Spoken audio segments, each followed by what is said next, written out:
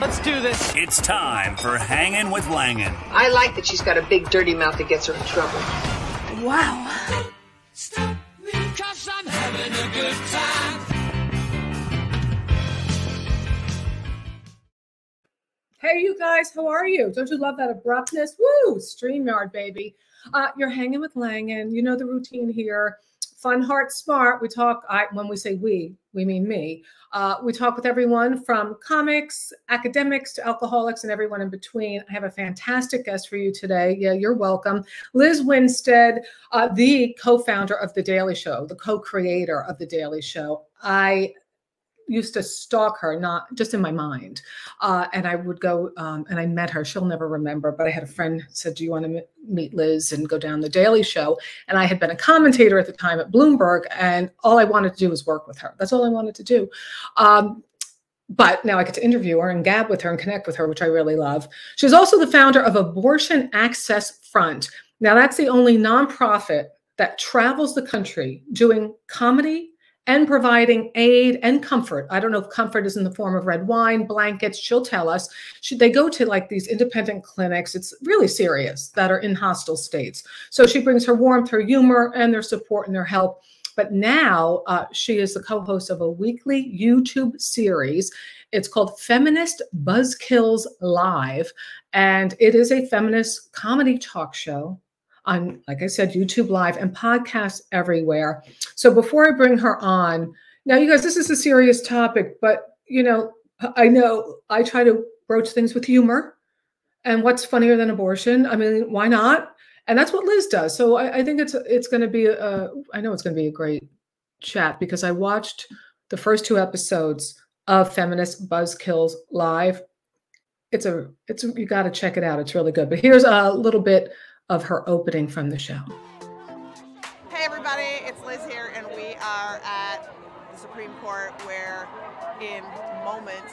Justices are going to be hearing arguments on the Mississippi case that could change how we access abortion in our lifetimes. It, how about the men who decided to have sex and didn't do everything in their power not to get someone pregnant in the first place? Well, it takes two to tango, and yeah, that's that's much bullcrap. Yeah, men They should have been raised up to be men. I'm like, if you're going to do it, be a father. Yeah. Or wear or wear a condoms. condom. Yes. So do you advocate for condoms? I don't know. I don't like them. You can't tell me that all these people don't know how to get on birth control. Everybody I knew had five abortions. I understand it. I was in it. I said, hey man, my homies took me to the doctor. It's judicial tyranny, and the government has given up its right to make these decisions for us. Here, here! Yes. Down with judicial tyranny! Yeah. Down, say with me! Down with judicial tyranny! Down with judicial tyranny. This is the premiere broadcast of Feminist Buzzkills Live, and I'm getting arrested! Lizz Winstead, boys and girls. Lizz Winstead. oh my God, you have a bell. Uh, hello. How about two of them? How about Oh my like? God, don't crazy. My dog's going to start barking. That's all right. I love dogs. That's fine. I love them. Hey, you are um, the rebel. This is what I love about you. What you call yourself? Um, you like to deal with people who disgust you. You like to go after people who disgust you. You said something like that on your bio, which cracked me up. Uh, you got arrested. Drag What? hypocrites for filth. Say it again. I like to drag hypocrites for filth. Well, you should do that. Well, Yeah. well, you know, tell me about like being arrested. What ha- I've not been arrested. Um, so what is that like when you were arrested in DC? Do they drag you? Well, out? What they, It was like white lady arrest, right? It was um simple.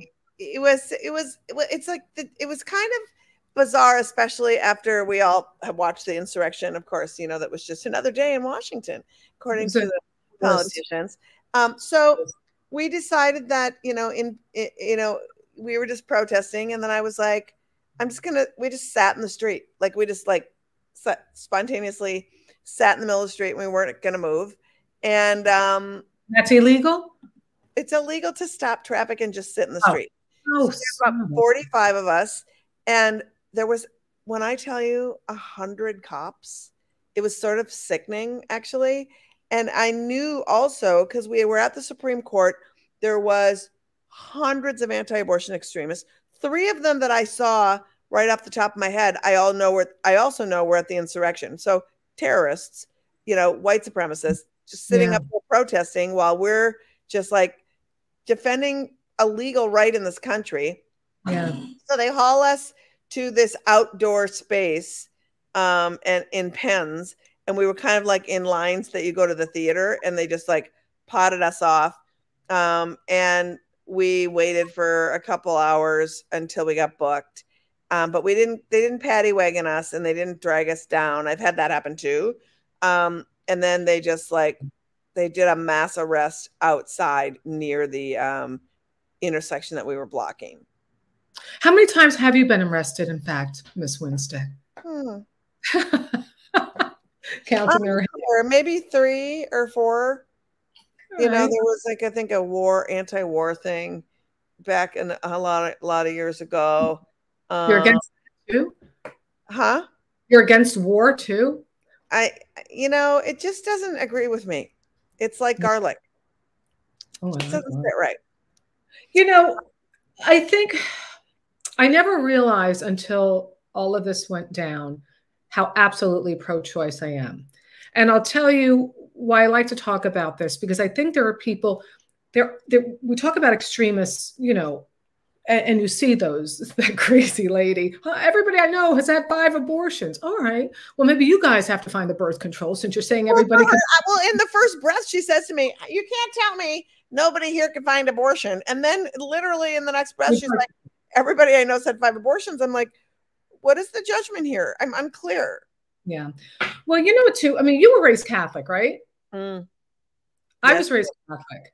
So I honestly do understand the mindset of some people. I do. And, but I think it, I really do. I get their mindset. I'm not saying that I'm on board with it or not.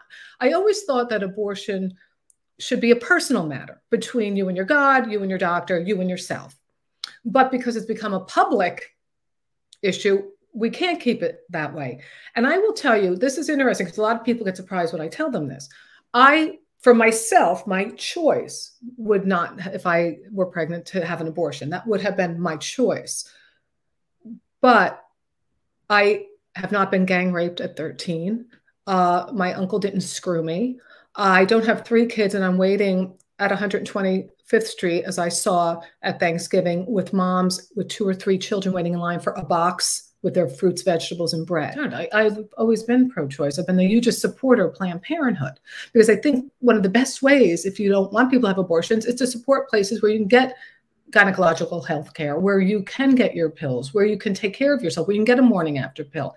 But these guys want to erase every Yeah. opportunity to protect ourselves from maybe not having a family, not having children. Yeah. Well, I also want to say too that there's been abortions forever and there always will be. So while I'm with you, I think comprehensive sex education, access to birth control um, are all should be mandatory in our in in our lives.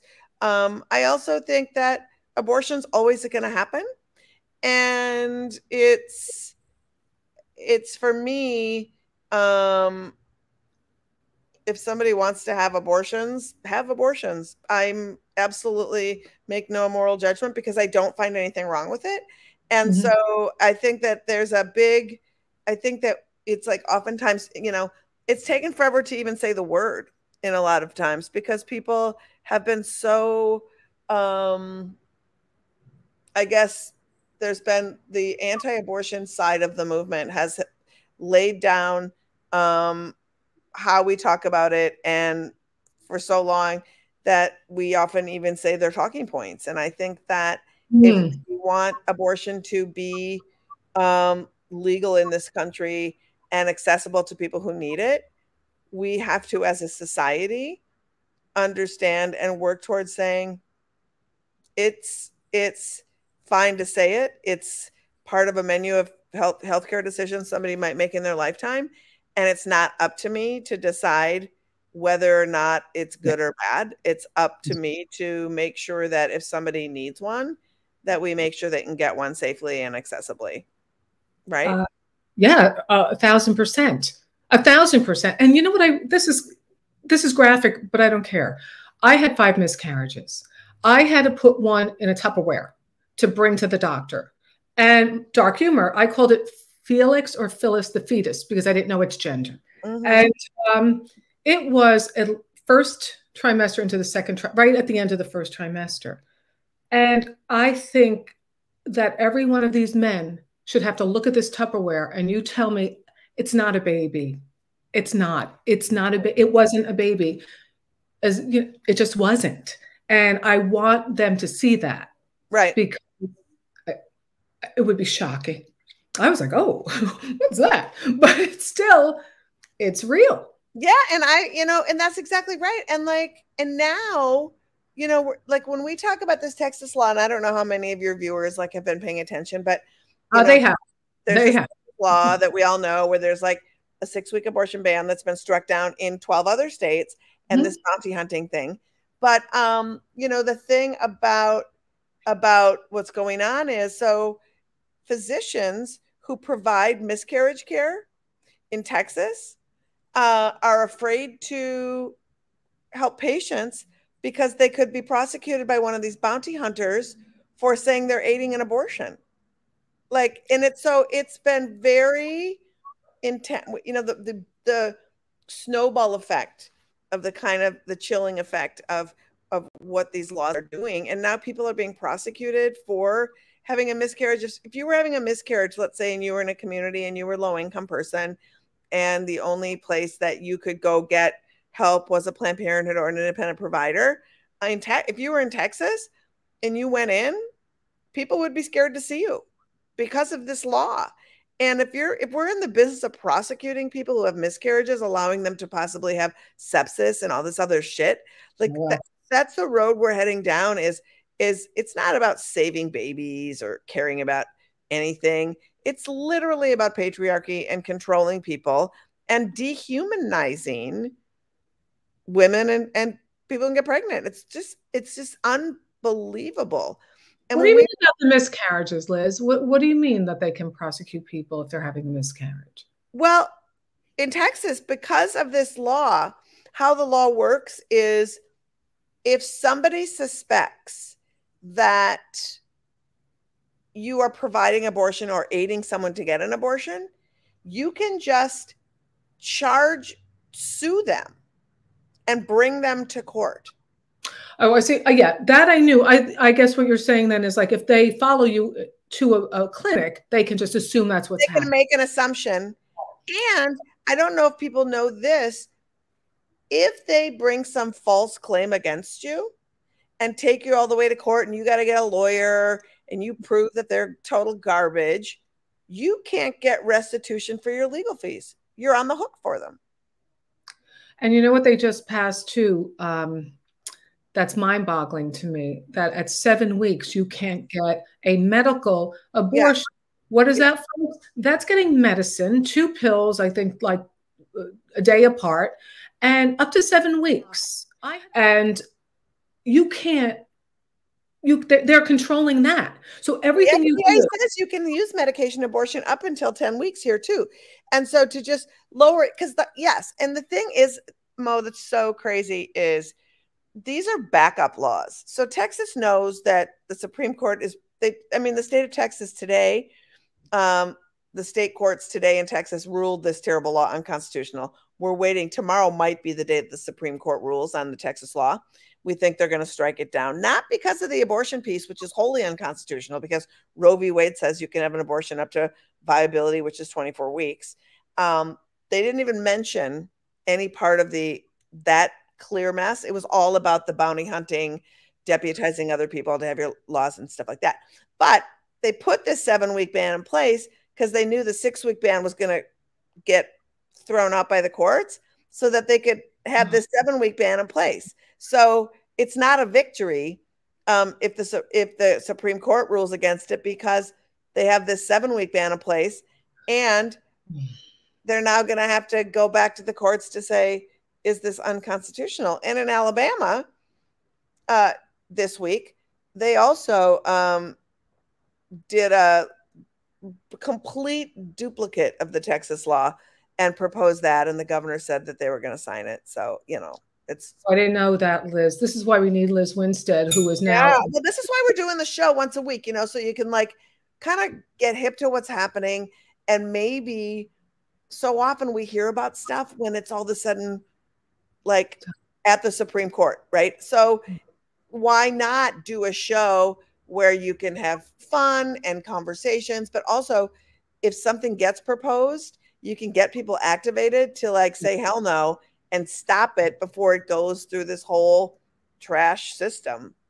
When I, I, the anger I have been feeling viscerally since this Texas thing, even prior to that, but the Texas thing, when this happened in Texas, I felt like I was reading about something that would happen in a, uh, somewhere in the Middle East where they would follow women around and make sure they didn't get their abortions or their birth control.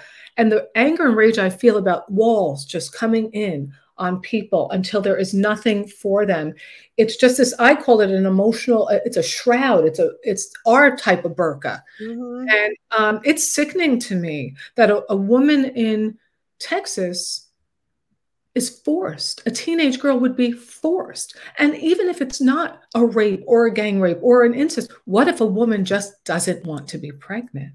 Well, and that's the whole thing. And I think that we like conversations we never have, right? Is there is this abortion adoption correlation that people make all the time as though somebody owes somebody else a baby, right? To me, God, so- adoption isn't the answer to abortion. Adoption is the answer to somebody who doesn't want a parent.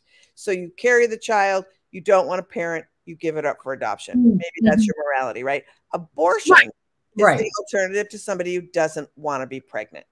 And not wanting to be pregnant should be enough of a reason um, to be able to access abortion. And so, you know, it's it's to me like I think um, I've heard I've heard people, you know, sort of make these comparatives to um, like um, extremism in other countries and things like that, and and that narrative. And and for me, I think it's important to name our own extremism. This is Christian extremism in the United States, and it exists. Mhm. Um, and the ties to uh, white nationalism are real, especially in the virulent anti-abortion movement. We, through Abortion Access Front, which is my organization that puts on this cool show. Um, the other thing that we do a couple of things, um, Steph, that you mentioned. We also, through our work traveling around the country, and um, you know, we do shows, and then we have the uh, providers and the activists in those communities come on our shows, talk about what they need in the community, talk about what's going on, and then our audience can sign up right there to be clinic escorts, um, help keep with morale and do stuff. And then we also like fix up the clinics. That's part of our work. Like we do everything you said, like bring wine and like um, massage chairs and things like that. But we also do work like yard work, fix fences, paint, because a lot of times if you provide abortion in these hostile states, you can't get a contractor or a landscaper to come to your clinic because you provide abortion. So we can do some like one off maintenance. And then what we do at our shows is say, this clinic needs a person to come and do this. And it's not a volunteer. They just want to pay somebody to come and do it. And I'll never forget being in Oklahoma. And this guy, we're talking, and this man is raising his hand in the show as we're having this conversation with the providers. And I said, Do you want to ask me something? He said, "Uh, If I'm hearing you correctly, you're telling me I'm a landscaper. If I take on this client, I get a client, I get paid, and that's activism. And I yes, it is because you saying, I'm glad these people are in my community. I'm going to park my van in front of their clinic and mow their lawn.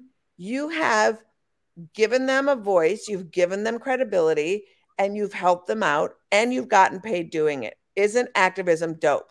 It takes many forms, and Yeah. that's one of them. And you know, it's like a big light bulb moment for people when they don't realize that um, just showing up and saying that you support the clinic in your town, whether that's a Planned Parenthood, whether that's a community clinic that's independent, um, crucial to just you know, be present and be um and so like, you know, that's why we went to the Supreme Court to show this this side of the movement that, you know, there's a lot of people who support this and we're all here. So, you know, it's it- eh, oh, but anyway, I get to my point. So we do that. And then the third part that we do is through this traveling around the country and meeting the local activists, they started telling us about the people outside of their clinics. And you know who I'm talking about those people with the signs, the screamers, all of it.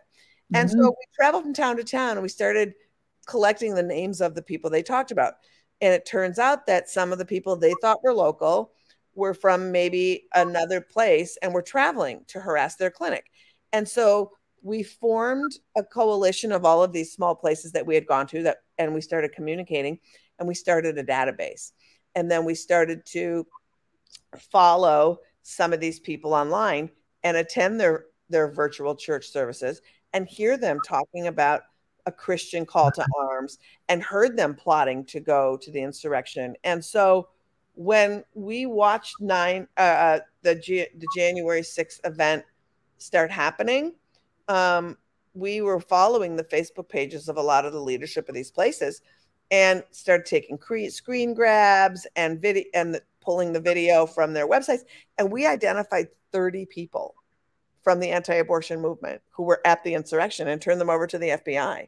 But like, yeah, but people don't realize that these um, organizations really intersect. You know, like a leader of one of the biggest movements, a guy named Jason Storms from Operation Rescue, Operation Save America, um, was raising money for Kyle Rittenhouse's defense.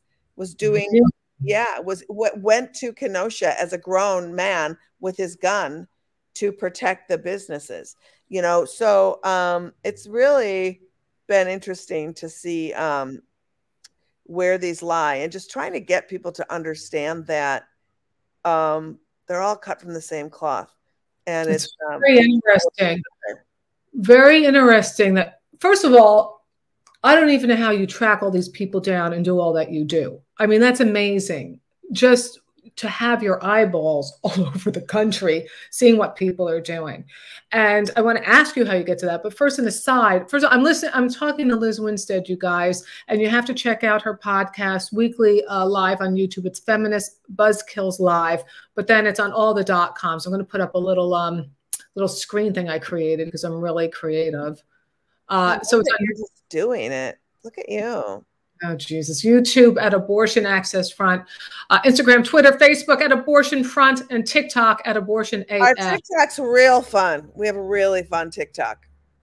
It's an important conversation to have, and there's so many layers to this. And that's why when I go back, when I said there are people who aren't extremists who can understand and get behind what you're supporting if they hear it the way you deliver it. When they when it's not painted into such a crazy world where felix and Phil, phyllis or felix the um, fetus when they when that becomes a reality what that really is instead of what they think in their head. Yeah. And, and you know when i went for birth control at planned parenthood when you know i was younger and i remember those screaming people outside and i thought at me. I could you have no idea what the hell i'm doing in here No maybe i don't have health insurance and i want my gynecological exam maybe i want birth control maybe i do want an abortion but you have no idea what's going on and they there. don't care. I mean, in, in the in the in in mode that is that is exactly the point that I hope people hear.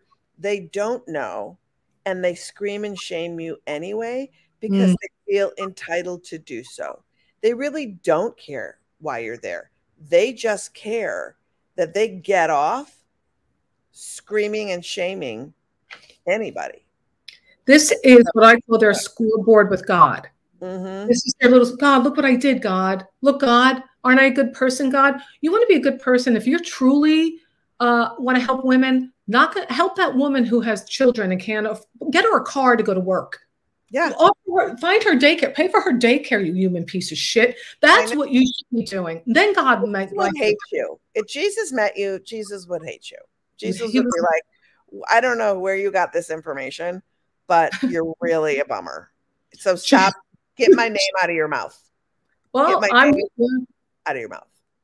I want to show another clip. Um, Well, first I want to show this fellow. He this is a while ago. I used to play this on my radio show all the time to show the absurdity of some of these fellows out there. A representative of, in Georgia. His name is Terry England. But uh, here, women are compared I to. love Terry England. Is he the? Was this the clip where he says that women are cows? yeah, we're barnyard animals. Yeah, Yes. barnyard animals. Yeah. I wish I had barnyard animal sounds, but I have enough time to prep everything. I'm doing the best I can. Here's uh, barnyard animal man. You know, life gives us many experiences. It gives us the experience, or I've had the experience of delivering calves, dead and alive, delivering pigs, dead and alive. And I want to tell you, Representative McCall, Representative Roberts, all of us, Representative Anderson, that have done that, Representative Black, that have done that, it breaks our hearts to see those animals not make it. You know, a few years ago, I had a young man come to me at our store, and uh, it was when we were debating, talking about dog and hog hunting, I believe, and at that point there was some language inserted in there that dealt with uh, uh, chicken fighting. And a young man called me to the side and he said, I want to tell you one thing. And y'all, this is this is salt of the earth people I'm talking about. Someone I would have never in a hundred years expected to tell me what he told me that day. He said, Mr. Terry, I want to tell you something. You tell those folks down there when they quit killing babies, they can have every chicken I've got. Now, if that don't put it in perspective for you, real quick, your bread ain't going to rise and your eggs ain't going to cook. That put it in perspective? what perspective he he was wanting me to have. Unclear. Um, he can give all the analogies he wants, unless he has given birth to a cow or a pig, or and then the chicken guy just came up for inexplicable reasons. I'll give you all the chickens I have. Hmm. You should kill stop killing babies down there. Well, I don't know. Here's a way you could stop killing babies: get vaccinated. Yeah, How about that? Wear a mask. yeah. You care about life. know. Maybe guns in schools. Maybe we could do something about guns. Oh, there's an oh gosh, Maureen, now you're just talking crazy. I'm a little wacky that way. But you know what? I think, though, if they stood in front of abortion clinics with a chicken, I think that could help lure women out. They'd be, look, this is your chicken. You get a chicken. And a pot. Yeah. Maybe they, oh, that would be a bonus. Like, Oh. yeah. That'd be like Yeah. Christmas. Um, okay. I know that I, I said I wouldn't keep you too long, but I do have to find, I do, I'm, I'm so fascinated by how you track all this down. And that was a question I posed to you before. Oh, so um we we have a whole system and people that do data tracking. My partner, Kat Green, um, who's my managing director uh, at Abortion Access Front, is a data nerd. And uh, she created, as she was collecting these names and we were talking to people, Hmm. she started the database and then just started collecting more names and then started some fake accounts on Facebook where she's tracking people. And um and she finds out goes to their churches attends their things you know tracks everybody. Um we have several people who have fake accounts who are like infiltrating the movement. And then um we watch them plot what they're doing and then we can give clinics a heads up if they if they're planning on doing like an assault on the clinic with a bunch of people we can give them a heads up that day um, and that kind of thing. And so we have a whole like, you know, crew of people um, led by Kat, and and we have like, you know, people who do database mining, and our website gets attacked. When I tell you it gets attacked, um, like a hundred million times a month or something, like that. And those are little attack. Like that's not a lot. It happens a lot, but you you're just set up for it. But like these crazy bot attacks and then um you know it's it's wild but somebody's got to do it so that we can report them and keep keep the clinics um in the know about who's Yes. personalizing you know these prayer vigils. I don't know anybody who has asked to be have prayer vigils without their consent, or they call it sidewalk counseling. And I was like, you know what? Nobody gets v- side counseling on spec on their way to abortion with bloody fetus signs. That's not counseling, but you can try to call it counseling, but it's not counseling. It's not. Hmm, turns out not. Oh, I thought it was counseling. Oh, Not even if you just call. I just thought it was. Yeah. Not even when you call it counseling. You know, Lizz, I love and respect the hard work that you are doing and the fact that you're doing these covert operations because you're protecting women. You're protecting women. We're trying. That's what you're doing. You're protecting women. Do you have two more minutes so I can play this crazy clip of the preacher? Oh my God, the preacher. Yes. Okay. Feminist Feminist Buzzkills Live is uh, Lizz's show, and um, you hear YouTube. Subscribe. We drop Thursdays at 4 p.m. Go subscribe. It's a lot of fun. Cool subscribe. Let's play the preacher. This is an excerpt from her uh, one of the episodes. it's insane. We want to pretend abortion is a woman's issue. It is not a woman's issue. It is a man's issue. Pray tell, why is that so? Because the one that God has ordained to protect and provide for women and children are men. Do you understand what abortion does to manhood? I'm so frightened. I, on him, Rusty Thomas from Waco, Texas. oh my god! Abortion is a man's issue because they were give, told by God that they need to protect the, us.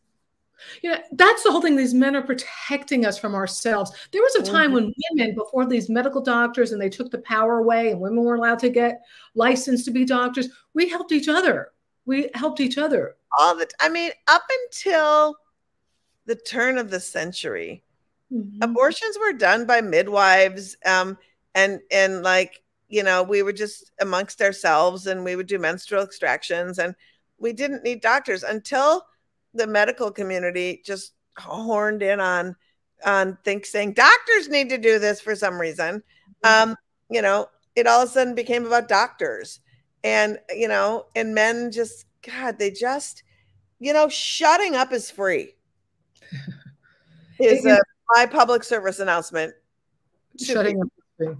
Well, it But really I also want to say too, like to the good men out there who are like, you know, this has been an issue that I've never known how to advocate with and or for because it's just always been men trying to control it. How can I be an ally? I say to you, um, a few things. One, recognize that you're probably successful because of partners who paid for birth control that you didn't have to pay for, or maybe because of an abortion that allowed both of you to continue with your growth and your development and your career path until you were ready to family, or or you were with a sexual partner that ha- wasn't somebody that you wanted to have kids with eventually, you know, and that should be reason enough for you to be like, you know what, I gotta be on board with this. I gotta give some money, but also like we need pack mules in our fight. You know, we need strong men who can hold those signs for us so we can be out there giving the messaging. When you look at anti abortion people, those men will stand there all day with those creepy fetus signs and they're screaming all, you know, we could use some people holding good signs so that we're we're putting the message out, you know. Being silent and being helpful is always really great. So come and be the voiceless supporter of the movement. And if you happen to be one of those uh, very successful dudes uh, who doesn't have the time, show the money. Give us money. We The are a nonprofit. It's tax deductible. It's the end of the year. Thinking about year end giving, thinking that this Texas shit is garbage, want to give to an organization that's working tirelessly to make sure that like we can stop fighting this one day possibly. Um aafront.org slash donate. You got it. That's our website, aafront.org. Hit that donate button. Boop boop. Pew pew pew pew. There it is, you guys. you. Oh my God. You are too much. Oh, it's Well, aafront.org though. Hold on, Maureen Langan will edit live on air. What is it? AA? aafront.org, live on air. Editing is happening. Folks, this is the new way of the future. Just doing everything yourself on the streaming on the internet and doing a great job doing it. So this is what it is. It's aafront.org. .org. Yes. Donate. Look at you. But follow the show too. Um, before I let you go, Texas, what's going to happen? So Supreme I- Court, what Mississippi? So I think the Supreme Court will strike down this Texas vigilante law that we've heard about, but um, don't let that be some kind of victory because I think that there's a Mississippi case that the that the Supreme Court heard um, last week. That's Yeah. a 15 week abortion ban, and I think they're going to try to uphold that. And if they do, that means that Roe v. Wade is no longer the law of the land. And that means that the decision of how abortion will be accessible will go to the states. And just so folks know, like where we're at, um, 12 states already have on the books that if the Supreme Court rules in favor of Mississippi, they will outlaw abortion flat out, no more abortions in that state. There is another 12 states that have laws um, that are pending that they will go ahead and enact once that happens. Um, and then two two other states that could um, really be on the fence. So we're talking about 26 states that could curb abortion dramatically or end it outright, um, leaving roughly, you know, 70 million people of reproductive age without access to birth control. I mean, or without access to abortion um, anywhere near them. And that's pretty scary. Well, birth control is only a matter of time. They're, Birth control is a matter of time. And also, they're even trying to classify IUDs and the morning after pill as an abortion. Mm-hmm. And it's like, stop saying that. You know, pregnancy does have like a process, you know, and so the IUD stops implantation, and the morning after pill also stops, um, you know, you from getting the egg fertilized in the first place. So, shut your pie holes, everybody. You mentioned menstrual extractions for birth control uh, for abortion before the around the turn of the century. Uh, what the hell is that? I never heard of that. So it's basically, um, It is. yeah, it's basically, um, it's basically doing um, what you do in an early abortion, which is, you know, suctioning out, cleaning out the uterus. It's like a D&C. Ah, which I've Uh, had. Yes. Yeah, and that's what an abortion is: is a D&C. An early abortion is a D&C. There's absolutely no difference in the procedure. It is the same thing. And just and you folks who don't know this, um, if you keep the baby, uh, the the dying fetus in you, or even if it at this point is beyond um, when it's viable, um, if it starts to die in the woman's body and you do not remove it and you let it wait until it's stillborn naturally, like a pig or a chicken or a goat, you will die of sepsis. Just so you know, women die because poison goes into their. Just so you know. Just and then they're going to start doing their self abortions like they did before birth control. Like my good friend who's a comic who's writing a memoir about losing her mother, watching her die on the couch because she tried to give herself an abortion and leaving three kids without a mom. So you have to humanize the people behind the word and the people walking into those uh, clinics. You have to humanize them, not dehumanize them. Yep. They're not a sign and a scorecard for you with God. And then you're going to Right.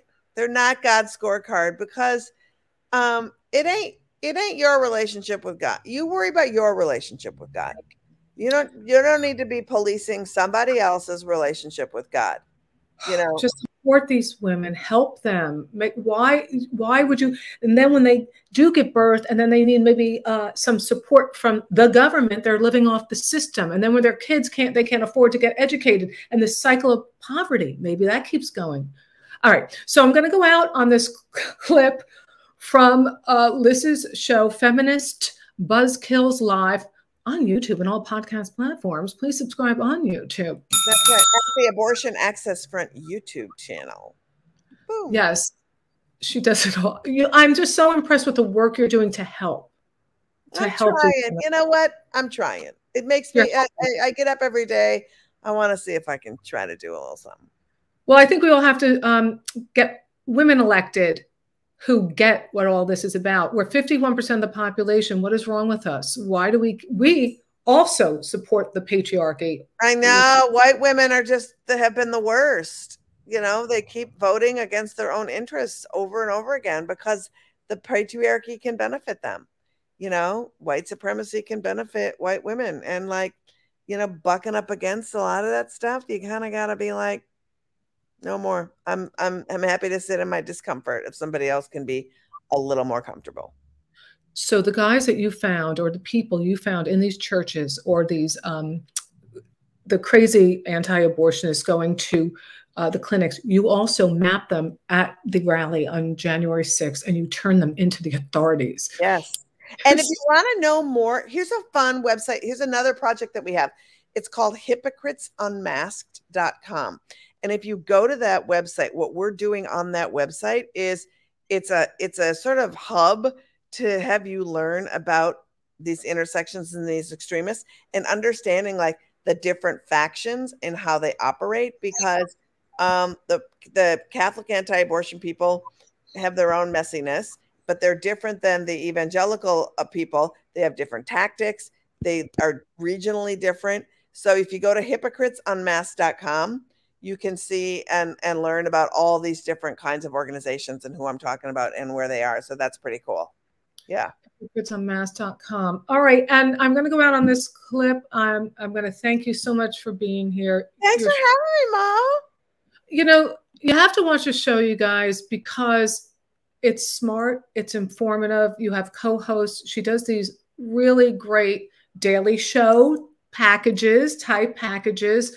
Um, and just i'm going to go out on one here and it's called you do a like a cop show a spoof of a cop show. And this is called i believe personhood cops. Yes. Yes.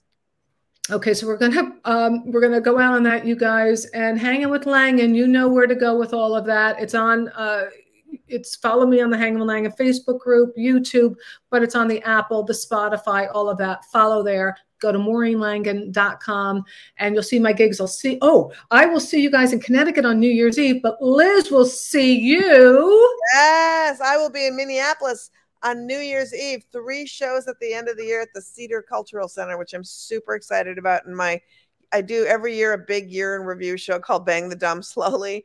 This year it's called Bang the Dumb Slowly. It's the comedic purge of 2021. A lot of fun clips. Um, graphics, um, sound bites. Uh, just if you feel like you want to get rid of 2021 hard and laugh your way out, um, it's a great show. If you're in the Twin Cities, come see me. All right, guys, we're going to go out on person. This is a clip from the Personhood uh, Cops. Cops is filmed on location with the men and women of law enforcement. Yep, I got a tip on an ejaculation without a condom over on Smith, which means it's possible personhood violation. Wouldn't be safe for me to go it alone, so I call for backup. Personhood violation, what is that? Well, now that the law is life begins at conception, from the second that sperm touches that egg, it's got the same constitutional rights as you or me. It's my job to defend it. Relax, folks. Relax, relax. Folks, if you're not doing anything wrong, there's nothing to worry about. We just want to ask you a few questions. Wrong? We just had sex. yes, ma'am. And in this state, life begins at conception. Mm-hmm. So if uh, that's wine in those glasses, you're endangering the welfare of a child. What? Is that wine in those glasses? Yes. You, sir? What? Yep. Exposing yourself to a minor. Good job, kid. Thanks, Chief. Hey, hey, I am not pregnant. I have an IUD. Ma'am, you just confessed to a murder. What? What are you crazy? You don't know what the hell you're talking about. This is outrage. This is a private home. Get the hell out of here. We're going down. It's the law. Where are my pants?